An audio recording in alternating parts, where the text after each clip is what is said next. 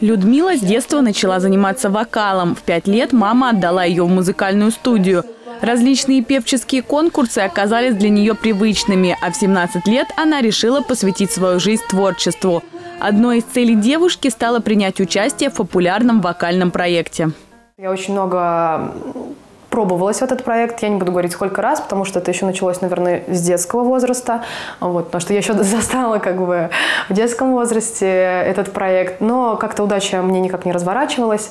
Вот. А тут я решила, ну, была не была пойду еще раз. И все так сложилось, что вот я пришла на слепые прослушивания, ко мне развернулись все наставники, и по итогу я оказалась в финале. Для Людмилы уже не важно, насколько большой будет аудитория, перед какой она выступит или станет петь в прямом эфире. Главное для певицы бороться до конца. За 15 лет выступлений она выработала в себе самые необходимые качества.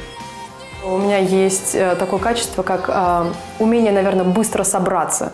То есть э, уметь собраться с собой, со своими эмоциями, со своим волнением. То есть я могу контролировать ситуацию. То есть бывает такое, у каждого вокалиста бывает, особенно у начинающих, когда ты выходишь, и ты все, ты разобранный, ты не знаешь, что делать на сцене. Не потому, что ты плохо репетировал или еще, а просто не хватает опыта. В финале конкурса Людмила заняла четвертое место. Останавливаться на достигнутом точно не собирается. Будет и дальше совершенствовать свое профессиональное мастерство. На данный момент у вокалистки уже есть свои авторские проекты, которыми она готова порадовать своих слушателей. Екатерина Крамер, Артем Ломоносов, телекомпания «Одинцова».